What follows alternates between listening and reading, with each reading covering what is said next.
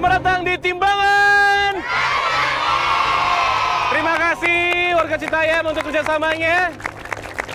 Tentunya pemirsa GTV untuk sekarang ini pejuang mimpi yang tadi saya sambangi yaitu adalah keluarga dari Ibu Sarni dan Bapak Sasro. Sudah menyelesaikan tantangan yang saya berikan untuk membelanjakan uang sebesar 5 juta rupiah.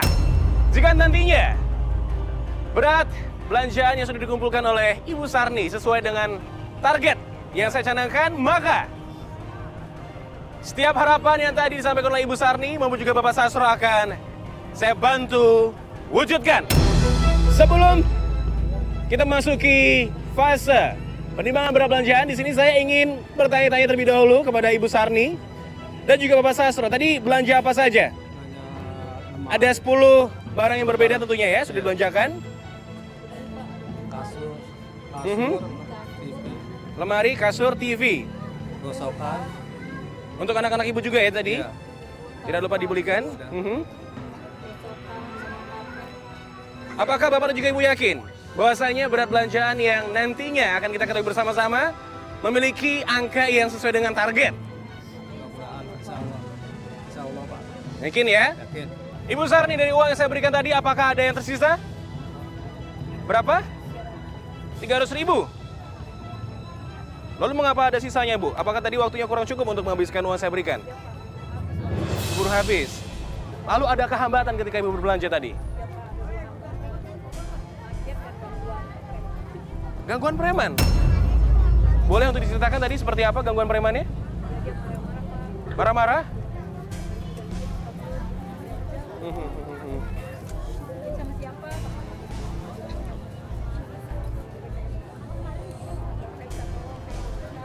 Ya. Ibu tidak apa-apa karena memang tim saya sudah untuk mengkoordinir semuanya, jadi ibu aman, ya. Dan untuk sekarang ini juga ibu akan mengetahui nantinya berapakah total berat belanjaan yang ibu sudah belanjakan. Tetapi sebelumnya ini uangnya saya ambil lagi bu ya. Baiklah. Lalu dari barang belanjaan yang sudah dibelanjakan, jika rak piring saya masukkan sebagai barang belanjaan terakhir yang kita ketahui bersama-sama nantinya. Boleh ibu? Saya boleh mulai dari mesin penanak nasi. Ya? Ada apa-apa? Juru timbang? Silakan masukkan barang pertama ke dalam keranjang penimbangan.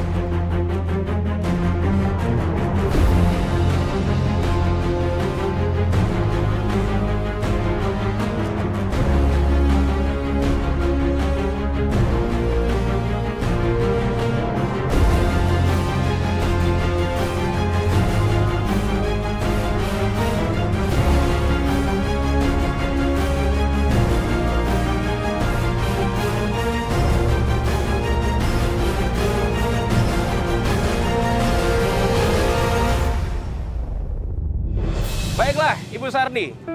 Saya lihat raut wajah Ibu dan juga Bapak Sastro kurang yakin dengan beberapa barang belanjaan tersisa yang masih ada satu buah televisi dan juga satu rak piring. Dan sementara ini, dengan dimasukkan cobek ke dalam keranjang penimbangan, maka Ibu sudah mengumpulkan 44,76 kg. Ya, minimal berat belanjaan adalah 46 kg. Maksimalnya adalah 56 kg. Berarti ibu harus mengumpulkan 10 kg lagi. Kalau begitu, kita lanjutkan lagi untuk memasukkan barang belanjaan selanjutnya. Juru timbang, masukkan lagi.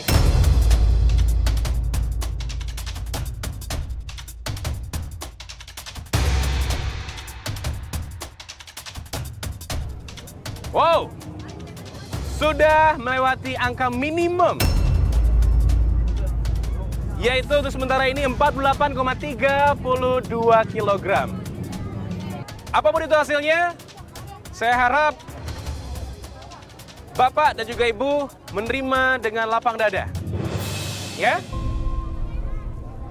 Bapak Ibu ikhlas Ikhlas, dengan apa pun itu yang terjadi? ikhlas Pak, Tetap dalam rasa syukur? syukur. Boleh ikut saya maju ke depan.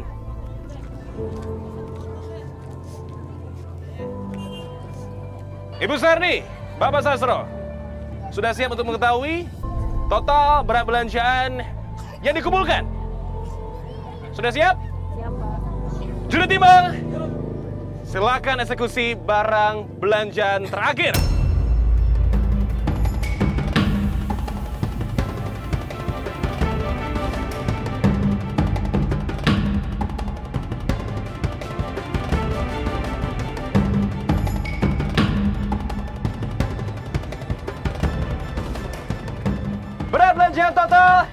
Yang dikumpulkan oleh Ibu Sarni dan juga Bapak Sastro adalah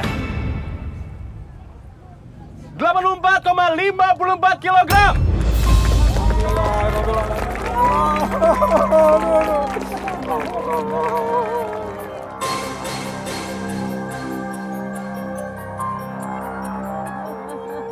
Ibu, Bapak, boleh bangkit sebentar. Ya Allah. Bapak,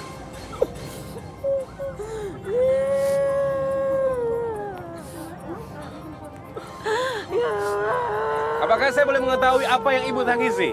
Karena target yang seharusnya dicapai oleh Ibu Sardi dan juga Bapak Sastro adalah 56 kg. Tetapi total belanjaan yang sudah dikumpulkan oleh Ibu Sarni dan Bapak Sastro melebihi dari angka maksimal. Saya sedih Pak. Saya bersyukur juga. Ya Allah. Saya terima Pak. Ibu menerima semuanya, tidak apa-apa ya? Iya Pak.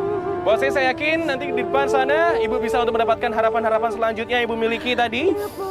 Yang Ibu sudah sampaikan kepada saya.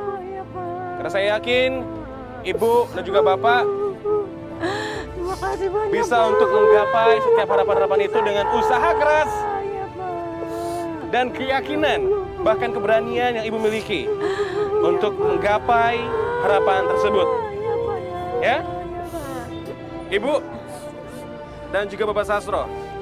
Saya dengar bahwasanya sebelumnya Bapak punya riwayat sakit ginjal, betul? Betul Pak. Iya. Iya. Boleh diceritakan kepada saya bagaimana itu? Kalau lagi sakit saya nangis Pak, nggak tahan Mhm. sakitnya. Sampai nangis-nangis, saya, saya getok-getok sampai gagang sapu, saya ganjal, nggak bisa sembuh-sembuh. Saya beli obat warung, baru sembuh. Lalu untuk pengobatannya bagaimana? Apakah sampai sekarang ini masih terhambat? Messi Pak kemarin kumat lagi Pak, Kumat lagi? Kumat lagi. Di saat kumat, minum air terus Pak saya Pak. Bapak selalu mukul-mukul Ya kalau lagi kumat Pinggang? saya, saya pegang gini. karena itu sakit sekali Bapak. Sakit. Taruh. Dan saya yakini bahwasanya itu juga harus membutuhkan biaya yang besar untuk bisa menyembuhkan apa yang Bapak Iya. rasakan. Saya berharap agar nanti ke depannya Bapak dan juga Ibu bisa untuk bersama-sama membahu untuk menggapai setiap harapan. Bahkan juga saya berharap agar Bapak juga cepat sembuh. Ya, diperiksakan Pak ya. Iya. Lalu, saya tadi mendengar banyak sekali harapan-harapan yang Ibu miliki. Terutama juga untuk kelangsungan pendidikan dari anak-anak Ibu dan juga Bapak. Iya. Lalu juga tadi saya dengar ada beberapa tunggakan dari sekolah anak-anak Ibu. Bahkan belum dibayar berbulan-bulan. Belum lagi juga harapan dari Ibu tadi ingin untuk bisa merenovasi rumah.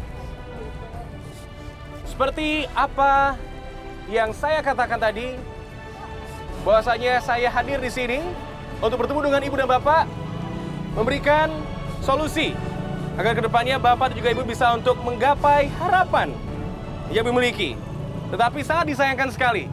Mohon maaf sekali Bapak. Hari ini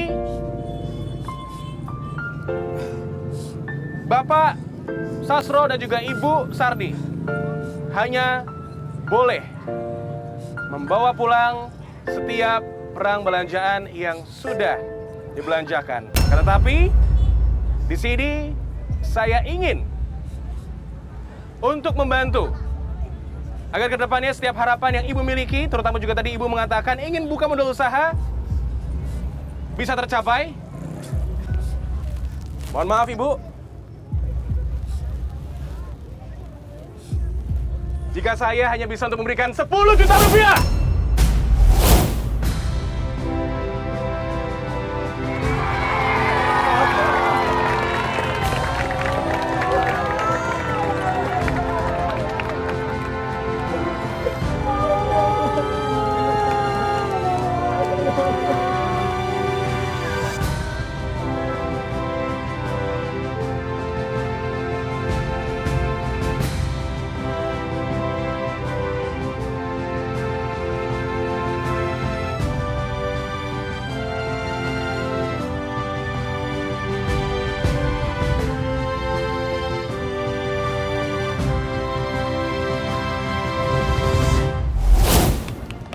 Pemirsa GTV, dalam menggapai setiap harapan, tentunya kita pun juga harus bisa untuk memberikan totalitas, keberanian, bahkan semangat juang yang tidak boleh berkurang. Selanjutnya, saya akan terus mencari pejuang mimpi yang akan saya bantu untuk menggapai harapan mereka. Apakah Anda salah satunya? Saya Tuan Dermawan. Sampai jumpa.